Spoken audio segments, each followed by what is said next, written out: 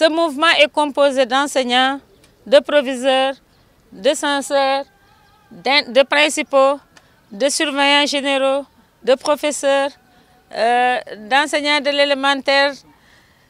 Ce n'est que des enseignants qui sont dans le mouvement et l'objectif, c'est de réfléchir pour les problèmes, trouver des solutions aux problèmes de l'école. Nous, nous croyons à ce qu'on appelle la pédagogie par l'exemple. C'est quoi la pédagogie par l'exemple? Au lieu de venir vous dire nettoyez votre école, nous venons nettoyer avec vous. Ce sera propre.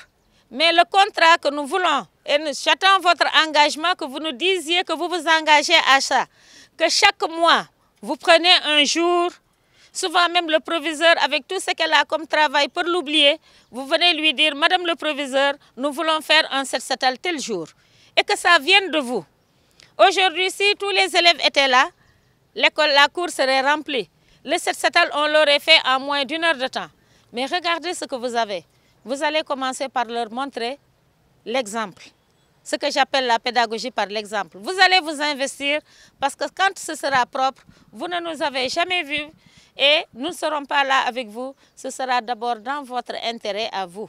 Mais nous sommes conscients que nous sommes des enseignants et nous sommes des éducateurs. Et nous avions pensé dérouler un projet. Vous voyez le nom du projet sur les t-shirts? École propre, école verte pour un Sénégal émergent. Quand on dit école, l'école c'est nous tous. L'école c'est les enseignants, mais l'école c'est surtout les élèves. Vous passez toute la journée à l'école. Vous quittez chez vous à 7 heures. Vous ne rentrez qu'après 17 heures. Donc vous voyez que vous passez plus de temps dans la semaine à l'école que chez vous.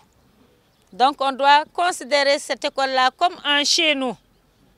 Et autant nous déployons des efforts pour rendre nos maisons agréables, nous devons également déployer des efforts pour rendre notre école agréable. C'est une cérémonie officielle que nous faisons et un engagement que je vais vous demander de prendre devant votre communauté particulièrement devant le chef d'établissement, Madame le Proviseur, que vous allez vous engager à l'accompagner dans ce qu'elle a commencé à faire, que vous allez promettre au mouvement que si on revient ici dans un mois, dans deux mois, on trouvera un lycée beau, un lycée propre. Nous souhaitons que vous soyez le plus beau lycée du Sénégal.